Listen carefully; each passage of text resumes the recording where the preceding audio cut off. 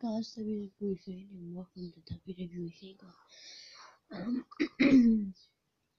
my dad brought me um a Mick Foley figure yesterday because he was in Waldo and he went to a shop.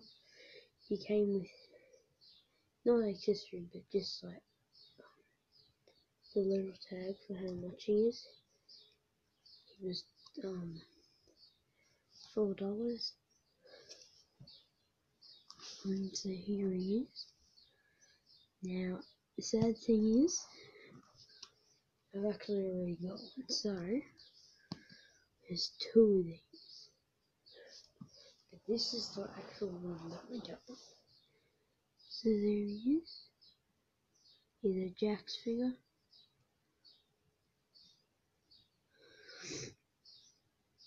Just a Jakks basic. Um, he's this is the same one by the way. I'm not disappointed.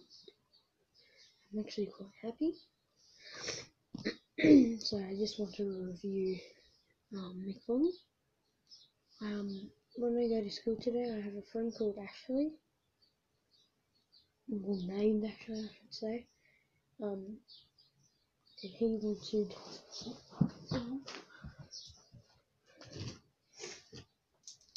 he said if I give him this Rey Mysterio, this is my first ever Rey Mysterio, he said if I gave him this, he would give me Bret the Hitman Hart.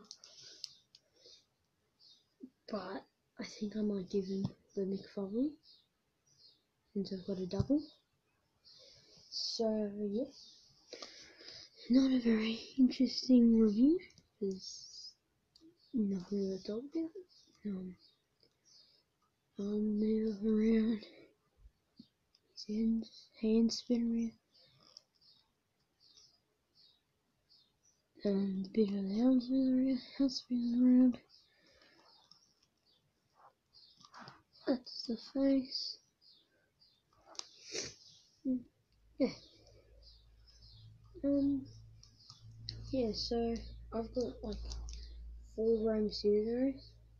I've got the Mattel one I showed you guys, and I've got two other Jakks ones. So this is my first ever Rey Mysterio I ever ever got. I don't think I'll give him this. I think I'll just give him my Mick Foley. So, like and subscribe. Bye guys.